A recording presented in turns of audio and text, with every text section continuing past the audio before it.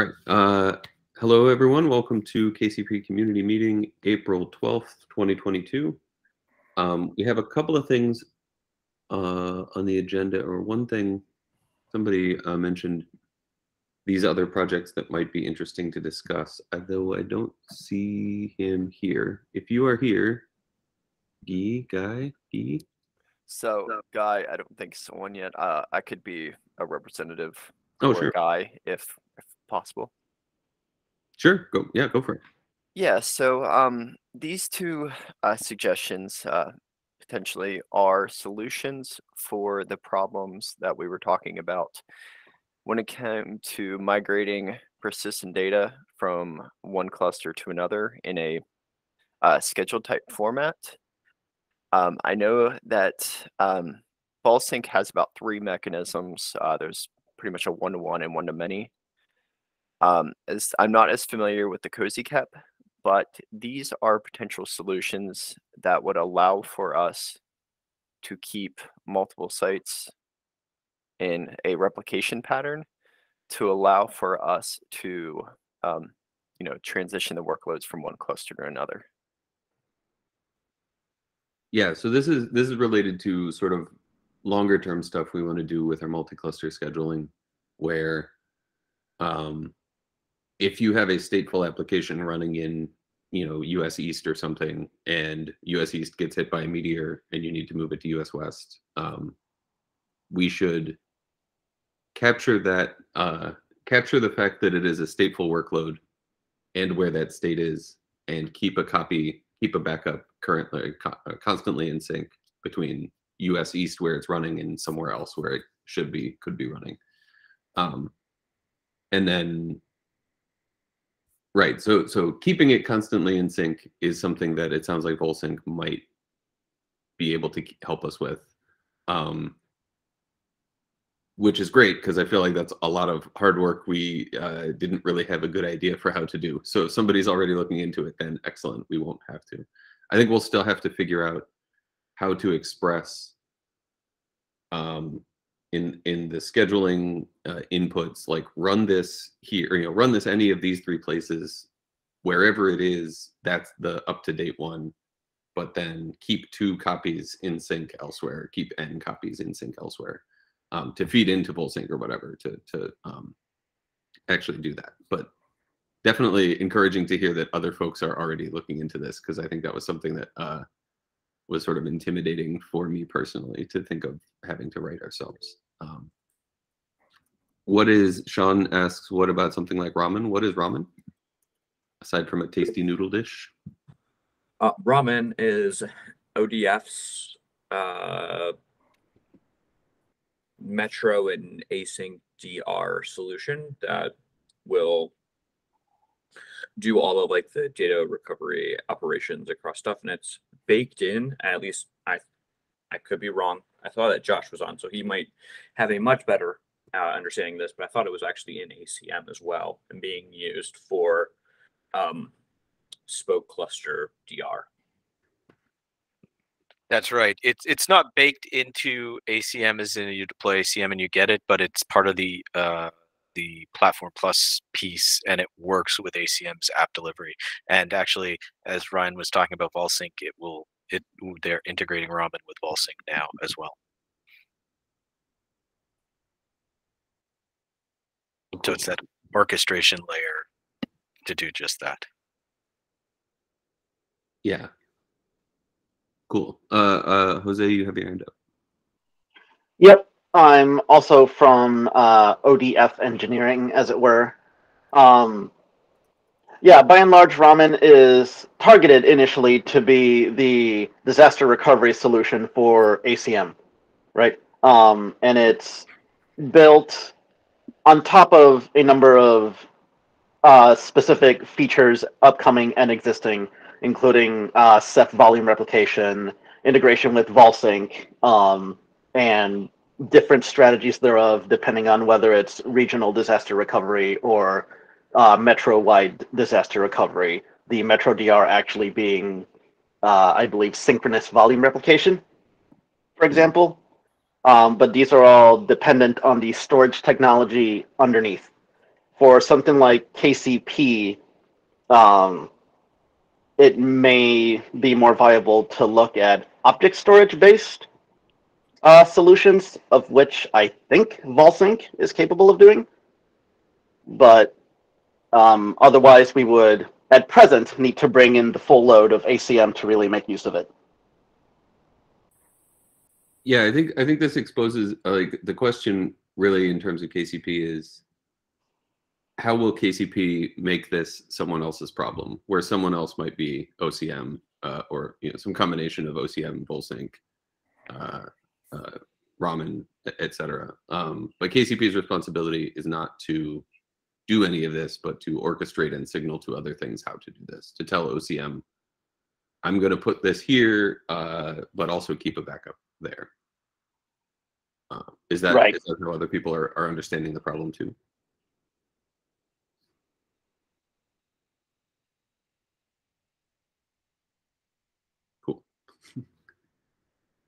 Um, but this is super interesting. I mean, like I think this is this is something we haven't uh, really deeply explored, except beyond the the, the hand waving phase of design. Um, you know, definitely. Uh, I'd say that the phases for transparent multi-cluster are uh, schedule anything and then schedule stateless things without downtime, like where where you can uh, move things around without without downtime. Um, and then beyond that, stateful workloads are definitely uh, next. Uh, Sean asked the question: Would this be at the syncer layer or some other? Oh, where'd it go? Or some other layer? Um, I think it was. It would probably be. uh, Sorry. some other layer. Like yeah. The, Yeah. the syncer is moving towards being mostly purpose built just to sync things. Uh, like it's there's a scheduling component that will will or is split out and evolve so that it handles scheduling and the syncer handles syncing. Um, Okay.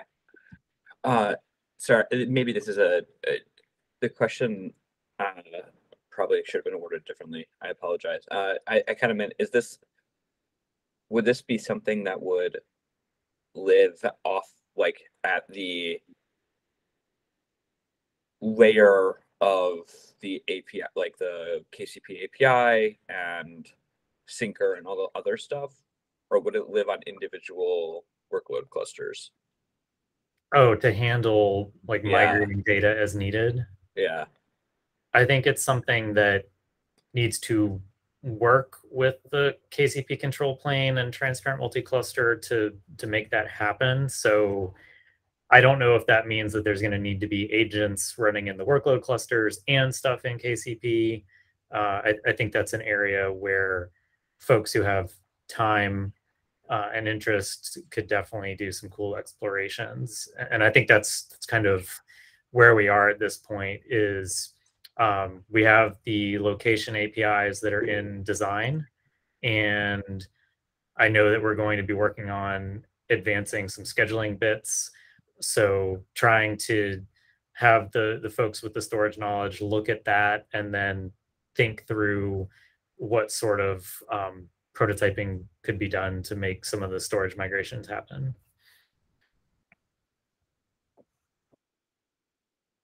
Uh, yeah, Josh. Uh, Josh, will you have your hand up first? I, I was just gonna say, just you know, sitting here as we talk about it in the last five minutes, I I totally see Sean like at the scheduling layer, something with you know ramen being one way to to put this put it together, and you know, keeping with some of the way you know we expect KCP to expose to the user layer. You know, there's a possibility that we almost you see nothing. you know, we see nothing about it, and just like splitter splits deployments. You know, your you know your deployment, your stateful deployment is you know split between clusters and it fails over as needed. Um, you know, using the ramen pieces or something based on the ramen the ramen technology in one of the sync PV sync tools under the covers. Versus then there's always the management side where you do expose those up through KCP, but it's it's about more about the fleet and the the admin roles in it. I think there's lots of opportunities to do neat things here. Yeah. Uh, Jose?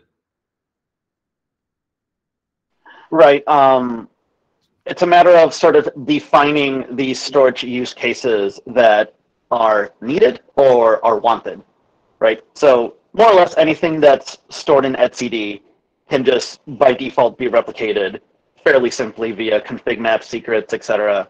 And if you have quote stateless applications, uh, just accessing object storage, the management of credentials becomes highest priority. For which the COSI uh, standard uh, might be viable, but also I don't remember what state of discussion the COSI KEP is in and whether and when it may actually merge into Kubernetes. So that would be something to keep in mind. And then beyond that, it's a matter of figuring out how you how, how we want to manage PVs, right? It's the PV part that always gets tricky. And one simple hand wave solution is to have storage outside of our managed Kubernetes clusters, right? Have some other Kubernetes cluster or just some other thing entirely dealing with storage and just connect remotely that way. Or, because yeah, uh, trying to manage uh, converged storage, as it were, via KCP is quite the rabbit hole, just offhand. Yeah, yeah. Um, cool. I guess if anybody is is uh, listening to all of this and wants to go play and explore and see what they can make work, this this is a uh, this is a bit like a like a longer uh, longer future thing that I think KCP is planning for, but that just means you have more time to play and explore and prototype stuff. Um, it's definitely uh, interesting to us. is definitely something we will want and need uh, to be able to do this with um, stateful workloads. But um, yeah, this this looks really cool. Uh, Nick says potential use case uh, blue green changes to logical cluster configuration picture pivoting between logical clusters replicating a key space and volumes to n plus one logical clusters um, yeah, that's interesting. Um, cool. Uh, yeah, uh, let me know or reach out on the Slack if you want to play with this more, and we can we can help uh, point you in a direction. Otherwise, this looks really cool. Um, yeah, I guess uh, real quick, an update on uh, me. Uh, Friday is my last day at Red Hat, uh, and so I will no longer be uh, joining these meetings, but I'll still be around in the various, you know, the the four dozen Slacks we're all a member of. Um, feel free to reach out to me if you have any questions. Ping me on KCP stuff if you want, and I'll help however I can. Um, but otherwise, uh, yeah, it's been it's been great working with all of you. Um, and uh, we can move on to the next item, which is the point four status check-in. Well, wait a minute. I'm sorry, stupid question. I must have missed the memo. Who's taking over your role here, or are you con continuing it from a non-Red Hat oh, position? Oh, good question. Uh, I'm not continuing uh, this role on KCP. I would say probably Andy and Stefan continue to be the the um, main point people for stuff. Uh, in yes. KCP arenas. Thank you for that affirmative act. Otherwise, I feel like I'm uh, just throwing uh, responsibility at people. But yeah, uh, Andy yeah. probably. And thank you, Jason. We will definitely miss you in the community and wish you the best of luck in your next endeavor. Thank you. Yeah, I mean, I'm I. You never go far, and it's a small community. So if you see me at a KubeCon, throw something at me, and we can say hi. Um, all right. Yeah. Uh, Andy, uh, do you want to do the the status check? Yes. Um, so I was looking at the milestone. There's 59 issues and PRs currently in it. Uh, several of them are things that just got uh, thrown in it when we shifted from 03 to 04. So I will probably take a pass, and a lot of these things will just get bumped because they're not uh, blockers for the milestone. But I am curious for folks who are working on things that are in the 0.4 demo script doc and or the work packages doc. Um, does anyone have any concerns that they won't be able to meet deadlines for the end of the month for being able to um, have things ready to demo. So question number one, anybody have any red flags they need to raise?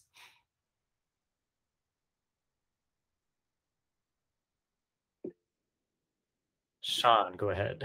Uh, I don't know if it was part of the demo for script, but uh, using validating webhooks with API bindings, uh, just due to the fact that you know API bindings are still out and stuff, would Yep. be Um, challenging to get in.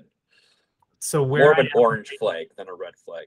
where I am right now is um, I'm evolving API bindings and API exports based on what's in the demo script. So API exports are going to get identities, and we need a virtual workspace so that um, controllers can connect to it to see only the things that they should see based on their exported identity. Uh, so I'm going to work with David on getting that in place. And you and I, Sean, should sync up and talk about um, what that's going to look like for the validating webhooks because I now have a better idea than when we last spoke about uh, how that's going to look in both etcd and in the APIs. So uh. I'll I'll be cautiously optimistic that we can get everything aligned at the right time and have it work out. Sounds good to me. Uh, Like I said, orange flag.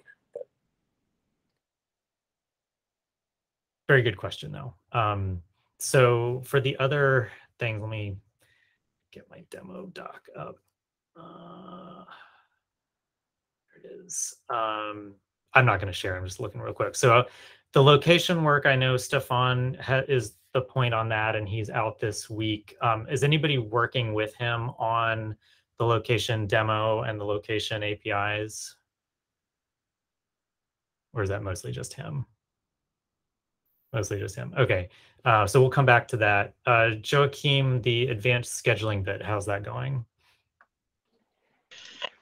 Well, I'm planning to start that uh, tomorrow, I would say, because I'm still working on the kind end-to-end tests and getting some, well, finishing some tests that I owe you all from previous uh, prototype. So I expect to be able to start working on that this week. Okay. Thank you. Maybe, sorry, maybe I can add just one point we discussed with that, um, about that uh, this morning with Joachim. Uh, in fact, uh, in, in the context of the, um, you know, work of uh, future exploration about thinking strategies, so which would be obviously for P5, um, I had to, to do some changes on the syncer, uh, especially to manage the, you know, removal from a location uh, flow, which is in fact quite the same as the, the provisional one we want to set up for P4, which means that the changes on, on the syncer, in fact, would possibly be some sort of, you know, skeleton or nearly the same code that what we would use for P4. So I, I'm in the process since I've come back to, you know, preparing the basic Syncer virtual workspace for P4 as well. I've just cherry picked this this commit and I'm currently testing the Syncer with the basic uh, Syncer virtual workspace. So it might be that in fact um, we, we, can sync with Joachim and and and have that part. I mean, the the Syncer part quite quickly down. Then of course there is the the scheduling part and the you know placement annotations and and, and flow that has to be um, implemented on top of that. But for the syncing part, at least we might be nearer than than than we thought. Okay, cool. Thank you. Um, for the rest of the doc, there's an authorization one, but I don't see either of the folks on for that, so I'll follow up offline. And then the remaining two were the webhooks and bindings that Sean and I were talking about.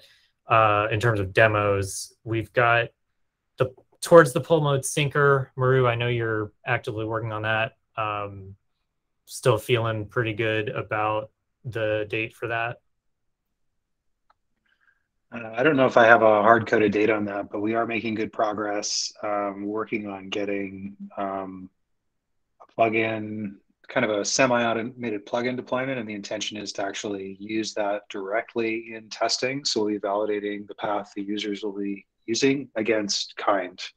And for the in-process syncer, which we're currently testing, we're going to use, we're going to basically generate the configuration, apply it to the cluster, even if it's a logical cluster, and then read it out to configure the in-process um, syncer. So we're not actually, we don't have a different path. So Great. it should replicate really closely what we're going to actually use. Okay, sounds good. And I don't see Antonio here for pod logs. Um, CRDB research, Steve, that's still going well.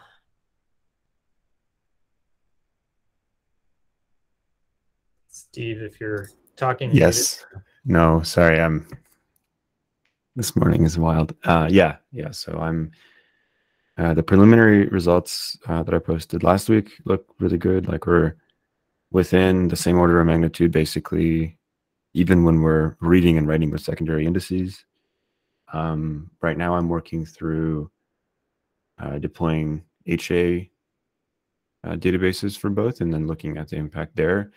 Um, and then I'll start doing like sort of the full suite of benchmarks, which is going to be with and without the watch cache. Um, we're also going to be looking at uh, performance as a function of uh, index selectivity. Um, and then we're going to be looking at some scaling numbers as well. So uh, if you guys have, if anyone has any other axes that I should look at or specific things that I should watch out for, I'd really appreciate it. I have, let me uh, shoot a link to the doc where I've been writing down benchmark ideas into the chat real quick. Thanks. So one question I have around etcd versus CRDB Yep. is do we do we have a stopping point and like how are we going to decide which direction we want to go with? That's a good So, question. Is that something Um, you talked about with anybody like Clayton or anyone else? Yes. So roughly right now, I think, barring any catastrophe on these benchmarks, which I don't expect, um, I think the expectation is we're going to go forward with it because it does simplify our life quite a bit um, on the scaling piece. And then I think the the largest next inflection point is uh, a presentation that's going to be coming soon to SIG API Machinery. Um, we've been basically talking through how,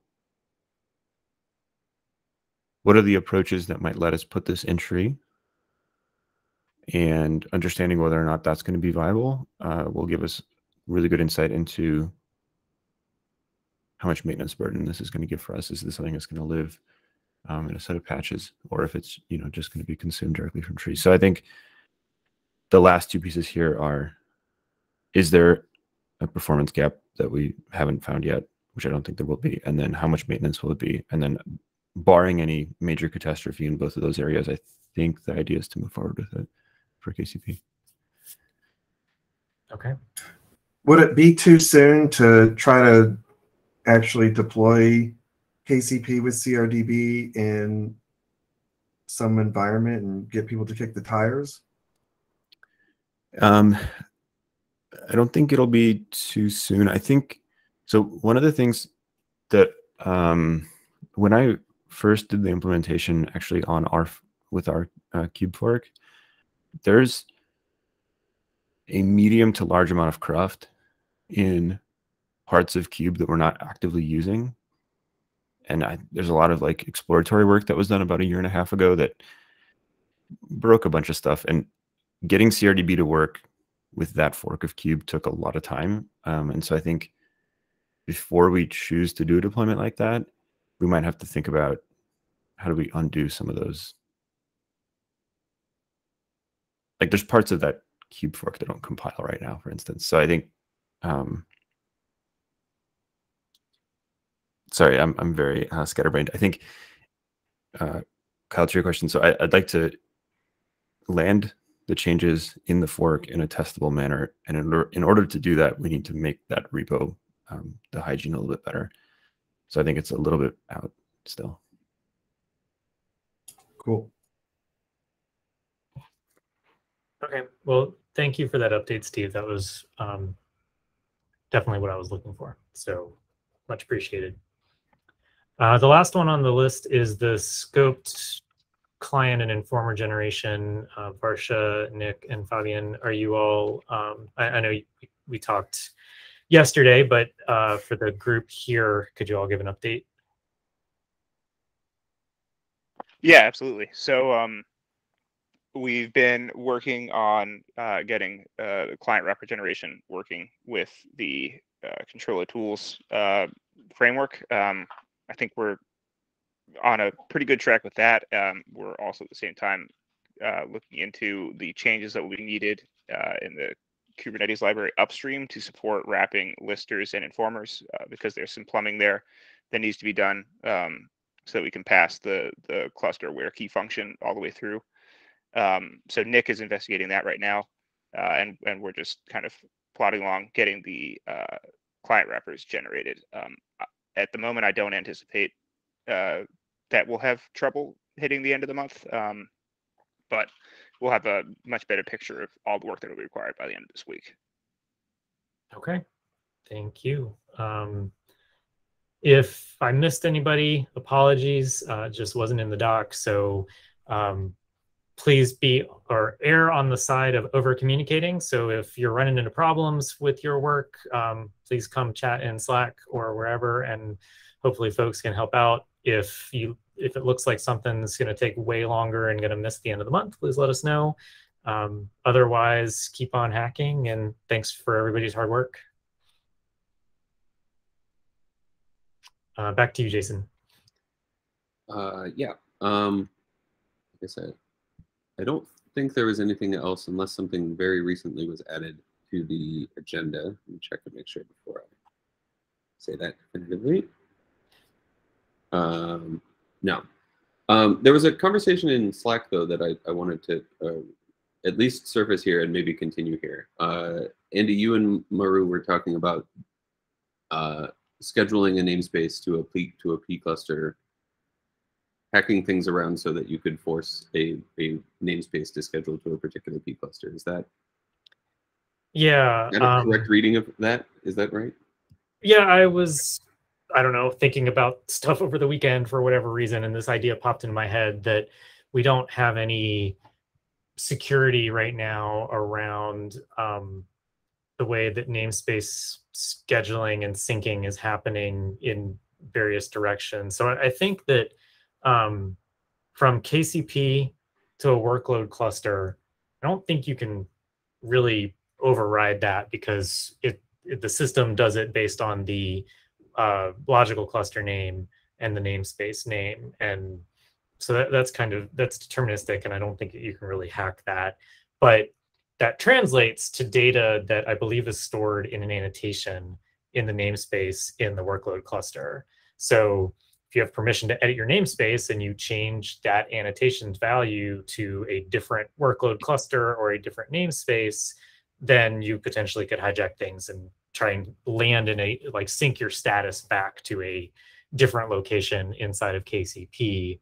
And so I was just thinking like that's one example of a potential um, attack vector or you know escalation, so to speak. So I just wanted to raise that and see if we can come up with ways for uh, prohibiting those types of actions and any ones that are similar in nature. You mean if I have permission to update the namespace, update my namespace in KCP, I can update that annotation to be a different value?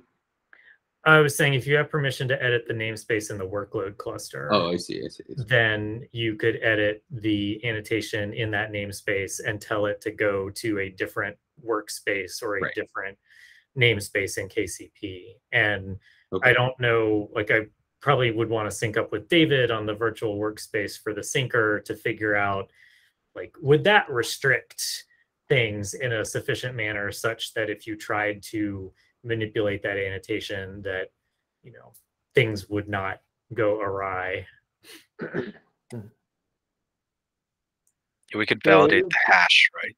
Isn't there a hash for those two things that are Yeah. generated and stored? So we could there is a hash and we certainly can validate that um, that's a really good idea I, I think we also had discussed potentially changing the strategy for how we name the namespaces and the workload clusters to not use a hash or do something different. Um, so I, I, don't know that that's 100% set in stone, but um, yeah, like that that's a great idea. Hmm. Validate that hash on every sync. Uh, when KCP receives some update, check and make sure that it's for the correct namespace and workspace name and the hash matches. Right. Don't just trust the hash, but also validate that it matches. Yeah, I don't. What it is I don't know. Like off the top of my head, like the hash lives downstream in the workload yeah. cluster, so like you, it gets translated back to a workspace and a namespace, and the syncer is just connecting to KCP saying, "Go to this workspace, go to this namespace." Yeah. So I don't know that the hash really exists at that point, but mm. it's worth exploring. Yeah. Uh, on the on the other hand, the approach of the virtual syncer of the syncer virtual workspace is to provide uh, really only what the um, physical cluster has the right to see. So, I mean, if for example some something was changed on the um, on the annotations on the um, physical side, that would you know change the logical cluster and stuff like that, or or the namespace. Yeah, I mean, in any, in any case, there, there there should be some uh, checks uh, on on the virtual workspace. Uh, what about a? Restrict.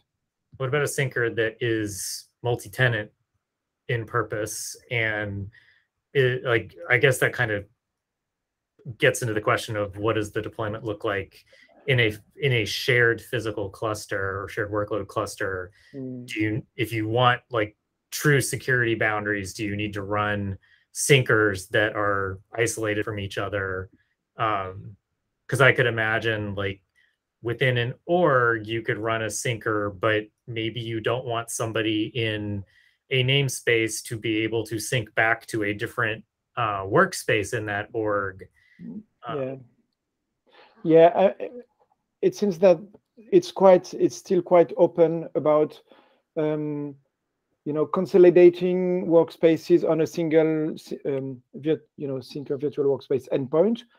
But on the other hand, also having the ability to provide the only one syncer with several URLs, several endpoints uh, of uh, virtual syncer virtual workspaces and having you know uh, several you know syncer clients on on the downstream side.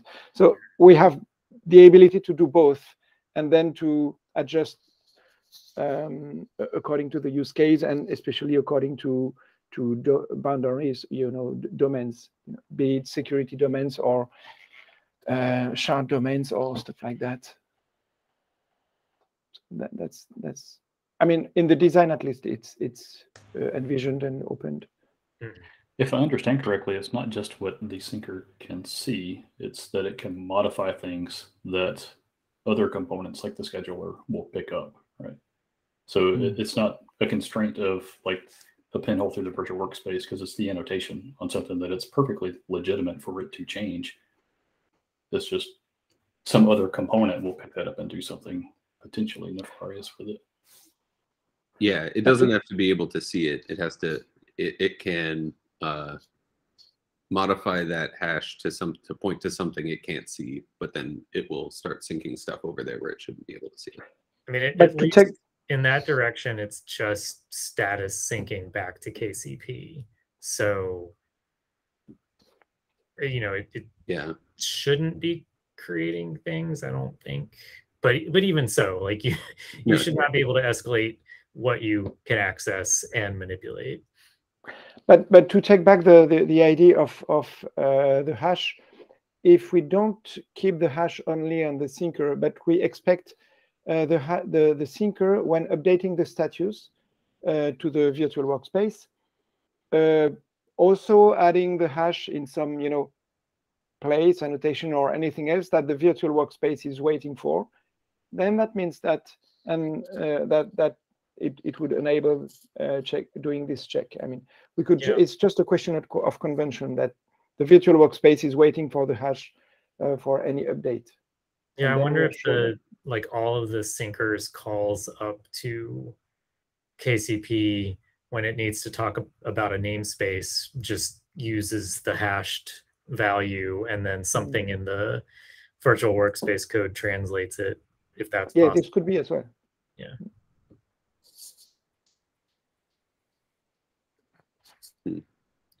I'd, I'd, sorry, either just a hash uh, value that is like a CRC uh, check uh, value, or or you completely replace the namespace with the hashed one uh, when discussing to the virtual workspace. I think the both options would work. Yeah, we should um, file an issue so we don't forget to do that. It's okay. This is recorded. Uh, if we ever need to refer back to this conversation, we'll just find minute 36 of the uh, of the recording. It's perfect. Anyway, uh, Nick has a question. Uh, was there ever was there an alternative to the syncer pattern, maybe shared key space between logical and workload clusters for certain resources? Um, uh, also, an apology about it being obviously nonsensical. I don't think there's any such thing. Uh, uh, everything we're doing is nonsensical. Um, Are you asking about like the namespace name is the same in both places? Y- yeah, I'm sorry. I'm not. I'm not trying to like second guess like already like um Oh no no no! that are The, already there. I mean, or the, the namespace mapping was like something I put together in five minutes. so Yeah. yeah, it was not thoroughly designed. No offense, Andy. so um, I, like the interesting thing is you have a scheduler on the workload cluster, and you're trying to uh, replicate resources, if I understand it correctly, um, for different views. Uh, so those resources exist in like the deployment exists in the logical cluster, key space as a separate entity than the deployment on the workload cluster. Um, and the syncer handles that, right? Uh, that relationship. Yes. Yeah. Okay. So, um, what if? I mean, has it been considered uh, when you create a deployment and a, logical cluster that's let's say configured against the workload cluster, um, that instead of doing a replication, there's just one resource in etcd under a, a shared key that uh, both the logical cluster and the workspace cluster um, can access.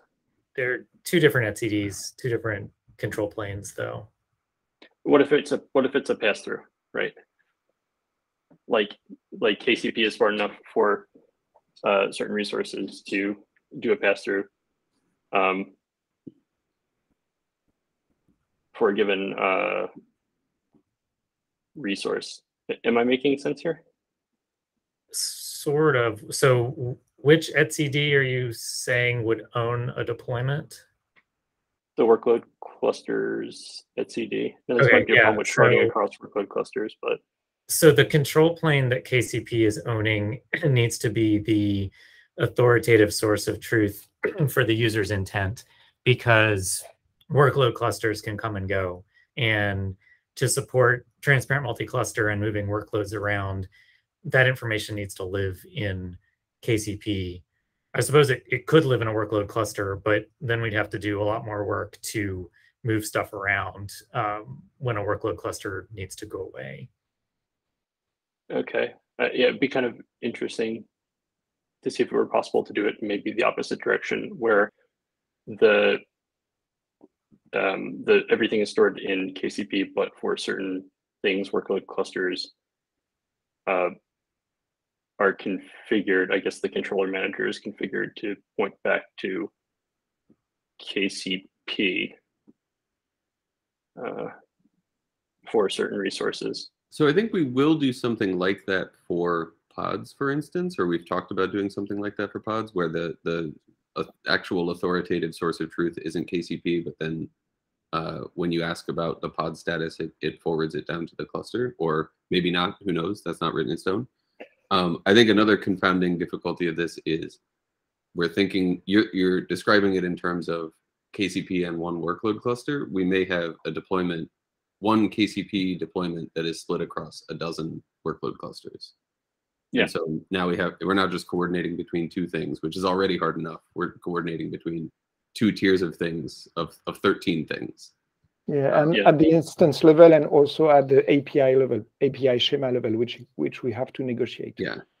So uh, it's not it's not a bad idea. I think we will probably do something like that for certain resources, but I think um, only resources like pods that are you know pods have different semantics than deployments. You can't have a pod running on two clusters, um, and it's pretty clear that they're just different sort of beasts than deployments. But um, I think some of the virtual workspace uh, stuff that David is is doing may make it possible to have.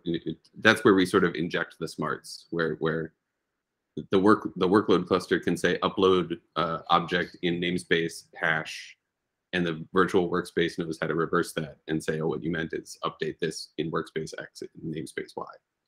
Um, and that's this reminds. that. Sorry, excuse me, Jason. Sure, sure, go ahead.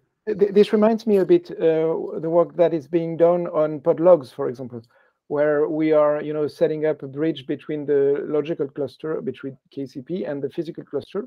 And if I remind correctly, um, remember correctly, uh, there was the idea uh, for, you know, user experience uh, to see your logs, for example, related to a deployment, which can be spread across various clusters. Typically, we would use um, virtual workspaces. Uh, you would just have you know a, a, a new type of workspace which is just a link and where you can see the pods. And in fact the, the, the real pods they are living in the workload clusters. But then you would have a, um, a a kcp virtual workspace that would just gather the information and present that and allow you to to have then the right urls to, to point to the logs so that's this type of, of things but but this has to be quite you know, constrained and and and designed with with limits that allow workload clusters specifics to leak in in on the KCP side, if I understand correctly. Yeah. Uh, Nick, go ahead.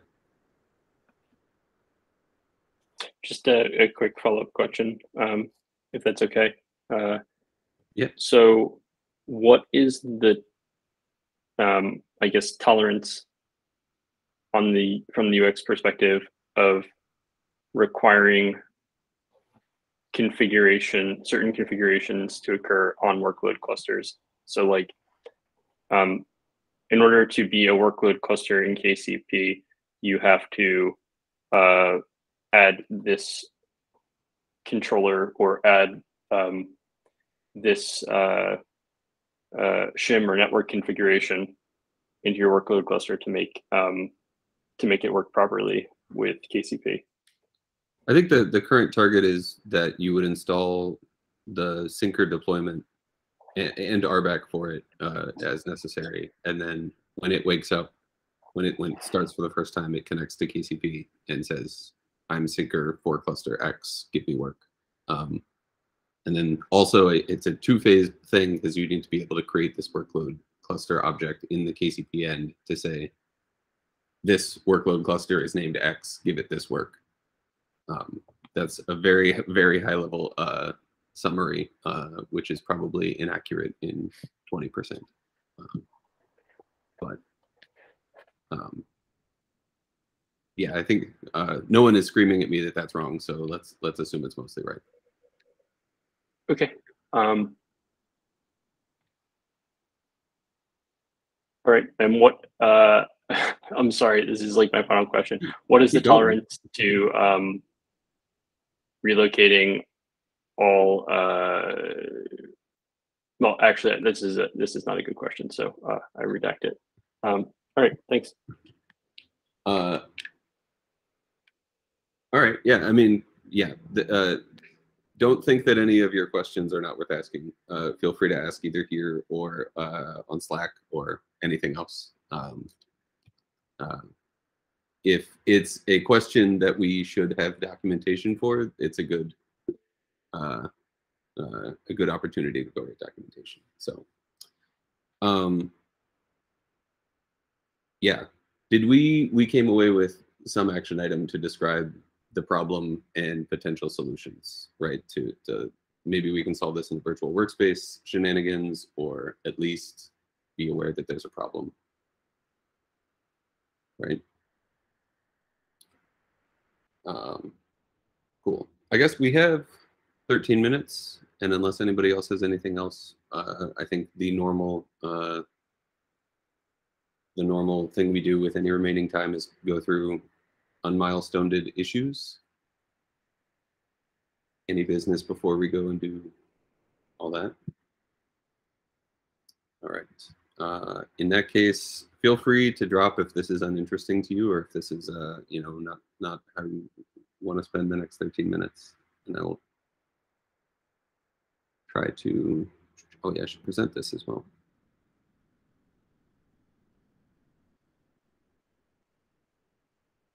This is, are- am I presenting? There we go. There we go. Uh, this is unmilestoned issues. Test two sounds like fun. Go ahead and close that.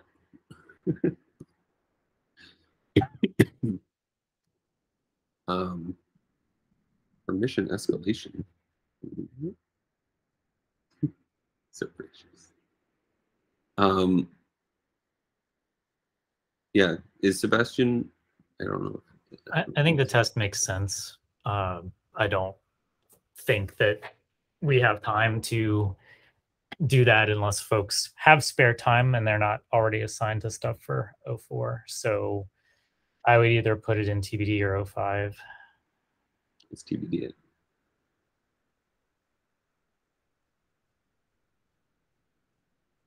Um, audit events. A link to Slack. Do we think this is a TBD of five? Um, I think it would be if we're going to start using audit logs, then we'll need this. So I'll be aggressive in adding things to 05 and then we can always kick them out later if we need to. Makes sense.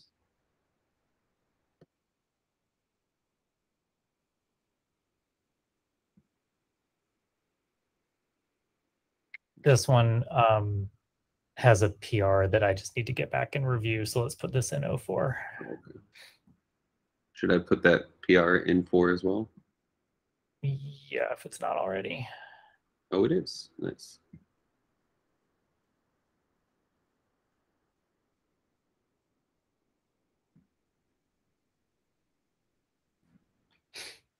Um, this one, I think Sean was going to work on it, but he's got the API bindings uh, or the validating webhook stuff first. So, um, or you know, anybody who, who's got time can work on it as well because it's not currently assigned. I tried to assign it to Sean, but was having trouble. I don't think it would let me. Um, Yeah. So Jenny, it would like great. org or something? Yeah, I think so Okay. It would be great to get this into 04 but you know i'm going to be realistic about timelines so we'll put it there but it, it's not a um, milestone blocker Yeah.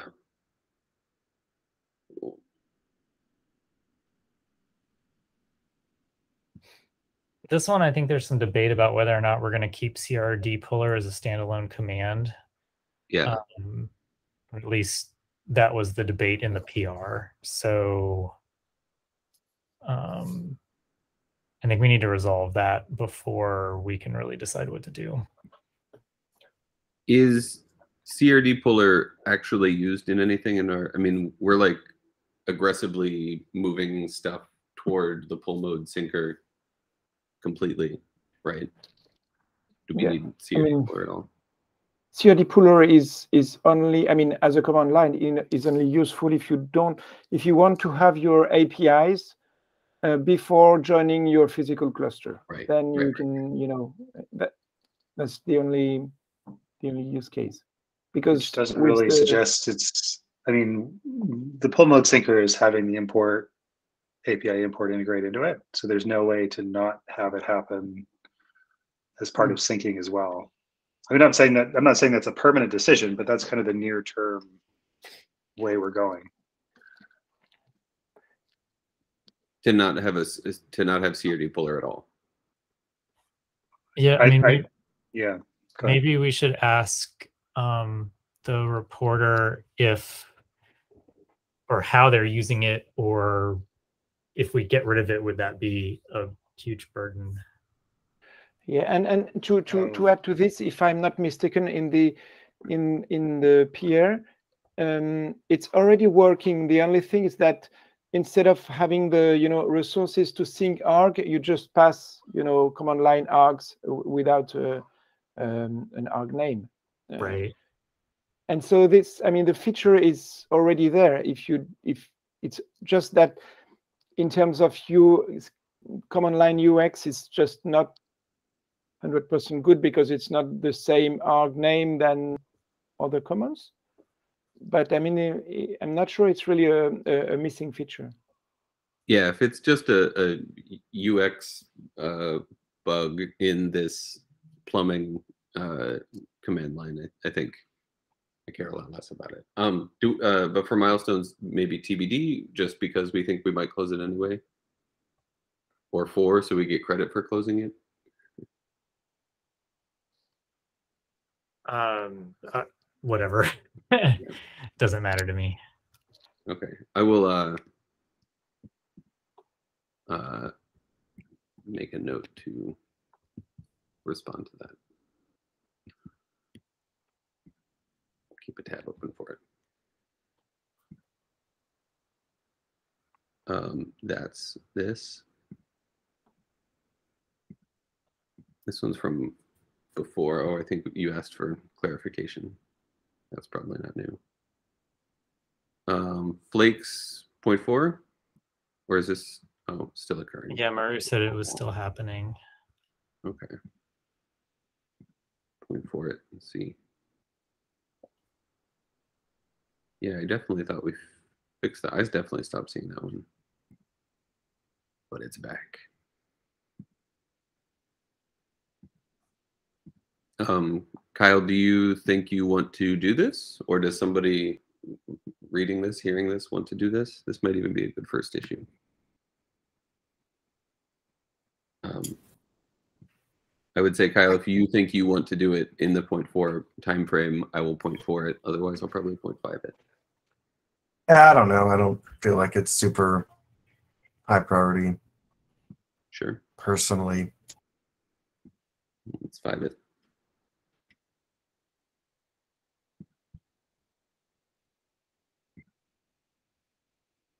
Um, documentation is something we've been trying to do more of, better of in point four, right? Do we think? Isn't there a PR open that actually has been Yeah. heavily reviewed for this? 627. Let me mark it as fixing. It hasn't merged yet. Um, Okay. Well, that would be nice. And then I can, I'll point four it. Something.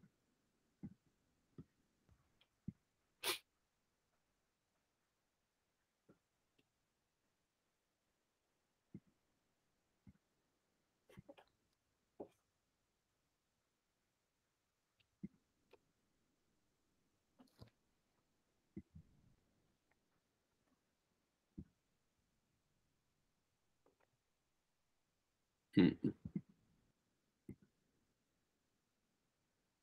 What do we think? Or this is related to five. We're not gonna. I, I doubt we'll make any changes to any of the verbs in 04. Yeah, yeah.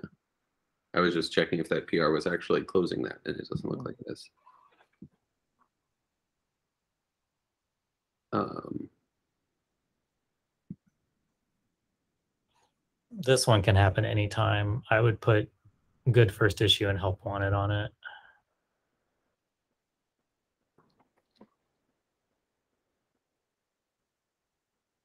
all right.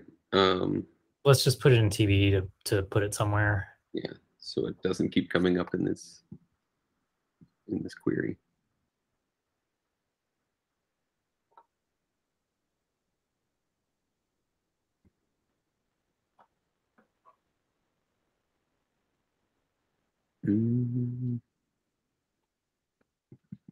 P4 for sure.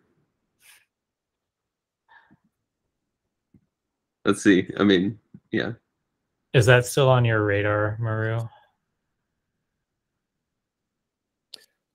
Can you come back to the top please just Yeah. the title yeah thank you Probably not.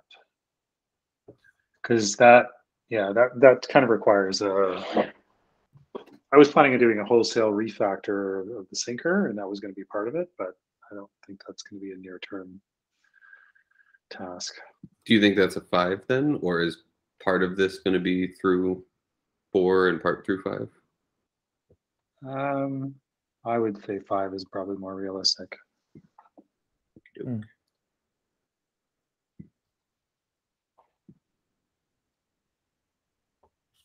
Speed up code We- generation. Yeah, TBD. Um, you know, stuff works. It's just slow. Yeah, yeah.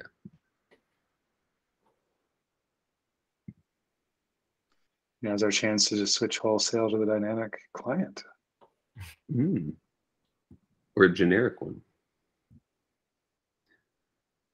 Uh, Steve, do you think there's any? I mean, this is already a four-month-old issue by now. We still want to do this. Um, I think when we get the um, the work that Fabian and Varsha and Nick are working on for some code generation and scoping, I think that will maybe unlock some work we can do here to Mm. try and fix some of that. Um, but it's, it's definitely not going to happen in 04. I will put it in 05 think it- optimistically. Yeah, it makes sense to put it to 05 and then we can remove it if it doesn't look like it. But I think 05 sounds right to me. Cool. Do you want me to assign you, Fabian? Uh, yeah, go ahead.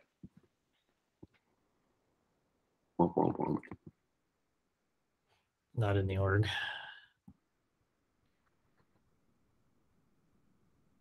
Also, not showing up here. Uh, I will do this It's later. Fabian VF is my tag. VF. Yep. That's me. Our matches up.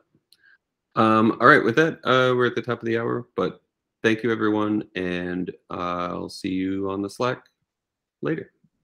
Bye, everybody. See ya. Hi.